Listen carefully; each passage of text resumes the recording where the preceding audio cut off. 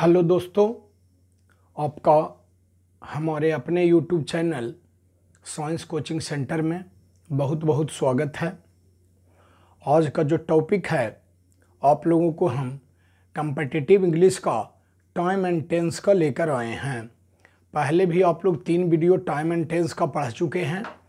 तो जैसा कि हम पहले ही बता चुके हैं कि बिहारी लोग जो है सारे विषय में तेज होते हैं, बस उन्हें प्रॉब्लम्स कहाँ होता है? तो इंग्लिश में, है ना?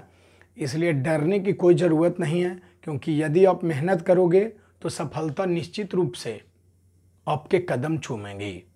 तो देखिए, ध्यान देंगे, ऐसे तो इस चैनल को आप लोग सब्सक्राइब किए होंगे तो आपके पास निश्चित रूप से नोटिफिकेशन पहुँच जाता होगा। और जो लोग नए हैं वो चैनल को सब्सक्राइब कर लेंगे ताकि टेंथ बोर्ड ट्वेल्थ बोर्ड और जो भी कम्पटिटिव एग्ज़ाम से संबंधित जो वीडियो रहता है, ऐसा नहीं कि सिर्फ़ इस, ये जो यूट्यूब चैनल है, सिर्फ़ उस पर कम्पटिटिव इंग्लिश का ही क्लास चलता है। इसमें फिजिक्स का क्लास चल चुका है, उसके बाद हिंदी ग्रामर का क्लास चल चुका है केमिस्ट्री का भी चलेगा, इसलिए आप चैनल को सब्सक्राइब करके रखें ताकि आपको फ़ायदा हो सके। तो देखिए, बढ़ेंगे धीरे धीरे तो आपको लिखा हुआ है, याद रखेंगे आप लोग, आज आप लोग पढ़ेंगे टाइम एंड टेंस में प्रजेंट इंडिफिनिट टेंस के बारे में आप लोग पढ़ रहे हैं। प्रजेंट इंडिफिनिट टेंस के बारे में आप लोग पढ़ रहे हैं, उसमें रूल नंबर अगला में आप लोग याद रखेंगे, जो कि हम समय की थोड़ा बचत करने के लिए हम बोर्ड पे ही लिख दिए हैं। ऐसे आपको थोड़ा सा भी कोई दिक्कत नहीं होगा। सबसे पहले लास्ट तक के आप वीडियो को ज़रूर देखेंगे। समझेंगे, उसके बाद डबल बार में कॉपी पर उतारेंगे। तो देखिए, लिखा हुआ है रूल नंबर अगला में कि unless until refuse deny without देखिए फॉरबिड प्रिवेंट नथिंग लेस्ट इत्यादि ऐसे शब्द हैं जो अपने आप में होते हैं निगेटिव है ना? ये आपको याद रखना है कौन कौन शब्द देखिए लिखा हुआ है। Unless until refuse deny unless until refuse इनकार कर देना, नकार देना, है ना? डिनाई प्रिवेंट फॉरबिड विदाउट या लेस्ट इसका मतलब कहीं ऐसा ना हो नथिंग नथिंग मीन्स ऐसे भी आप जानते हो कि कुछ नहीं होता है। तो ये सभी अपने आप में निगेटिव हैं। निगेटिव कहने का मतलब क्या हो गया? कि अपने आप में नकारात्मक अर्थ को नहीं अर्थ को बताता है। तो देखिए, अतः इनके साथ कभी भी नो, नोट, नेभर, नथिंग का प्रयोग नहीं किया जाता है। यानी आपको ये समझना है कि जब unless until prevent deny forward without lest ये सब तो अपने आप ही, यानी ऑटोमेटिकली ये निगेटिव है, ये है। तब ऐसा, ये सब जब लिखा हुआ रहे, जिस किसी भी सेंटेंस में अनलेस अनटिल डिनाई फॉरवर्ड ये सब जब लिखा हुआ रहेगा तो उसमें नो नोट नेभर नथिंग का प्रयोग कभी नहीं होगा। देखेंगे, हम एग्ज़ाम्पल के द्वारा आपको बता रहे हैं। देखिए अनलेस देखिए, इस सेंटेंस में क्या लगा हुआ है? Unless you do not solve this problem you will not get good marks तो देखिए, यहाँ पर लगा हुआ है unless you do not solve this question इसमें दो सेंटेंस है। देखिए, यहाँ से लेके यहाँ तक, फिर उधर देखिए अलग सेंटेंस है। है एक ही में बक, लेकिन दोनों कंबाइन किया हुआ है। तो देखिए अनलेस इसमें लगा हुआ है, लेकिन यहाँ देखिए लिखा हुआ है do not solve this problem है ना? तो अनलेस के साथ हम क्या बताएँ कि अनलेस जो है कैसा शब्द है तो अपने आप में निगेटिव ही है, ये है। यानी नहीं का बोध करा रहा है तो इसके साथ कभी भी नो नोट नेभर नथिंग का प्रयोग नहीं होगा। तो ऐसा नहीं कि सिर्फ़ नोट को काट देना है। नोट जो है किसको लेकर के चलता है तो डू को साथे लेकर के चलता है, इसलिए डू नॉट यहाँ पर बिल्कुल नहीं होगा।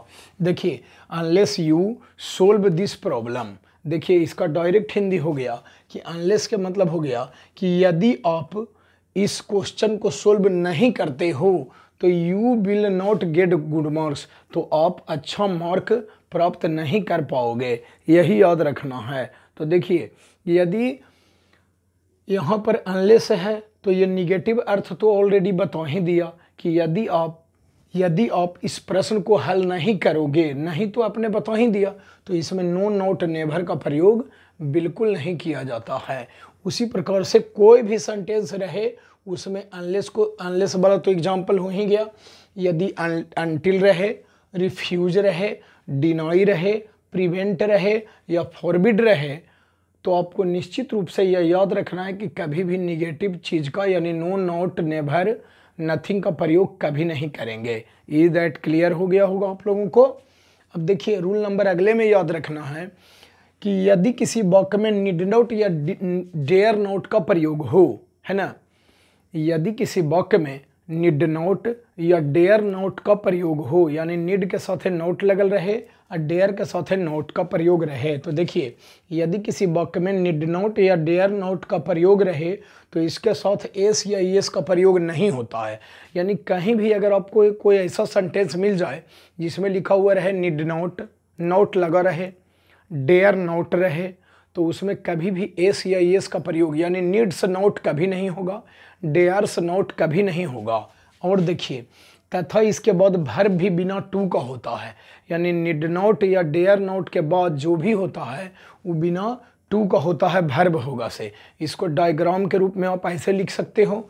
देखिए, कि निड नोट रहे सेंटेंस में या डेयर नोट रहे। निड नोट रहे या डेयर नोट रहे तो इसके बाद कभी भी एस माने इसके साथ कभी भी एस या एस का यूज़ नहीं होगा और उसके बाद टू प्लस जो भी बन रहेगा तो टू का भी प्रयोग नहीं होता है। क्या चीज़ का प्रयोग होता है? तो देखिए, यहाँ पर लिख दिए हैं कि सिर्फ़ भी वन का प्रयोग होता है, यानी टू का प्रयोग नहीं किया जाता है। अब देखेंगे एग्ज़ाम्पल में आप लोग, देखिए I am of the opinion that he needs not देखिए, हिंदी यदि आपको नहीं भी आएगा तो सेंटेंस को आप देखिए। यहाँ लिखा हुआ है ही नीड्स नॉट यानी नीड नॉट है। तो होना चाहिए इसमें देखिए नोट लगा हुआ है। तो अभी क्या बताया कि यदि निड नोट रहे या डेयर नोट रहे तो इसके साथ एस या एस का प्रयोग नहीं किया जाता है। तो देखिए निड नोट लगा हुआ है यहाँ। लेकिन इसमें एस या एस का प्रयोग, यानी भी फाइव का प्रयोग कर दिया है, जो कि गलत है। तो यहाँ पर नीड्स नहीं होगा, यहाँ पर क्या होगा? तो सिर्फ़ होगा, निड होगा। तो आपको परीक्षा में ईरर छांटने के लिए आता है, option A, B, C, D करके आता है। तो आप देख लीजिएगा कि जिस भी ऑप्शन में यहाँ पर दिया हुआ रहेगा नीड्स, यानी एस या एस लगा रहेगा तो वो कभी नहीं होगा। यानी यहाँ पर क्या होगा? नीड सिर्फ़ होगा। He need not consult such a rude person. देखिए, हिंदी आप नहीं भी जानिएगा तो ईरर यानी अशुद्धि को आप ढूंढ सकते हो। देखिए, अपना पावर को मेन पहचानना रहता है। आप कर सकते हो काम। पहला ही निगेटिव आप लोग मत सोचिए। देखिए, ऐसे मैं हिंदी भी बता देता हूँ। देखिए I am of the opinion that इसका मतलब हो गया कि मेरा यह विचार है, मेरा यह तर्क है है की दैट मीन्स की ही नीड नॉट कंसल्ट यानी उसे नहीं मिलना चाहिए। कंसल्ट मीन्स मिलना चाहिए। अब देखिए such a rude person rude means होता है गवार, है ना? जिसको बोलने का ढंग नहीं, बोलने चलने का ढंग नहीं, आचार विचार के बारे में उसको कोई पता नहीं है, तब बोलते हैं र्यूड पर्सन इसका मतलब हो गया गवार व्यक्ति, है ना? मेरा यह विचार है या मेरा यह तर्क है कि उसे ऐसे गवार व्यक्ति से मिलना नहीं चाहिए, यही हो गया। तो हिंदी अगर आप नहीं भी जानोगे, रूल सिर्फ़ याद करके रखोगे कि हाँ भाई, नीड नीड नोट जहाँ भी दिखाई दे तो उस, या डेयर नोट जहाँ भी दिखाई दे तो उसमें एस या एस का यूज़ बिल्कुल नहीं होगा। तो देखिए इसमें एस या एस चूँकि जो नहीं पढ़ने वाले रहते हैं, वो सीधे देखता है ही को तो ही को क्या चीज़ है? तो थर्ड पर्सन के सिंगुलर नंबर है। तो थर्ड पर्सन के सिंगुलर नंबर के साथ है भी फाइव यानी एस या एस का यूज़ तो ज़रूर किया जाता है। तो देखिए, वो तो मानेगा कि सही है, क्योंकि ही के साथ है नीड तो निश्चित रूप से होगा। नीड के साथ एस तो ज़रूर लगेगा ही के साथ है, क्योंकि थर्ड पर्सन के सिंगुलर नंबर है, लेकिन गलत है। देखिए नीड ही सिर्फ़ होगा। अब देखिए आगे, एक और एग्जांपल है। सी डेयर्स नोट देखिए, यहाँ लिखा हुआ है सी डेयर्स नोट तो डेयर नोट बताए थे कि नीड नोट या डेयर नोट का प्रयोग हो तो उसमें एस या एस का प्रयोग नहीं किया जाता है। तो इसमें भी देखिए एस या एस का प्रयोग किया हुआ है। तो यहाँ पर डेयर, डेयर्स ना हो करके यहाँ पर क्या होगा? डेयर होगा। She, dare not to stand before her father. याद रखोगे, बिफोर मीन्स के पहले नहीं होता है। बिफोर मीन्स के पहले कब होता है? जब दो सेंटेंस को जोड़ना रहे, कंबाइन करना रहे तो बिफोर के मतलब होता है के पहले। जैसे, the patient had died before the doctor came. तो दो सेंटेंस को जोड़ना है कि द पेशेंट हैड डॉयड यानी रोगी मर चुका था, डॉक्टर के आने के पहले, यानी डॉक्टर के आने के पहले रोगी मर चुका था तो वहाँ पर दोनों सेंटेंस को जोड़ने का काम किया, तब बिफोर मिस हो गया के पहले। लेकिन याद रखेंगे कि किसी व्यक्ति के बारे में अगर बताए, तब बिफोर मिस होता है के सामने।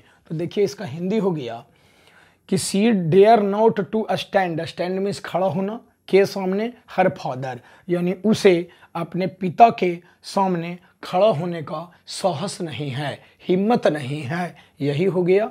तो देखिए, यहाँ पर डेयर्स दिया हुआ था। सी चूँकि नहीं पढ़ने वाले रहते हैं तो वो देखते हैं कि सी थर्ड पर्सन के सिंगुलर नंबर में है तो उसके साथ एस या एस का प्रयोग ज़रूर होगा। इसलिए वो तो सही ही लिखा हुआ है। लेकिन आप लोग यदि याद रखोगे तो बिल्कुल सही लग जाएगा कि ना, वो तो गलत लिखा हुआ है, सिर्फ़ डेयर होगा। डेयर्स नहीं होगा। अब देखिए नोट में याद रखना है क्या? कि परंतु जब नीड या डेयर के साथ नोट का प्रयोग ना हो, ऊपर में तो देखिए नीड या डेयर के साथ नोट का प्रयोग है, तब हम एस या एस का प्रयोग नहीं किए। तो देखिए, अब कह रहा है कि याद रखना कि परंतु जब नीड या डेयर के साथ नोट का प्रयोग नहीं हो, तब इसके साथ एस या एस का प्रयोग तथा टू प्लस भीवन का भी प्रयोग होगा।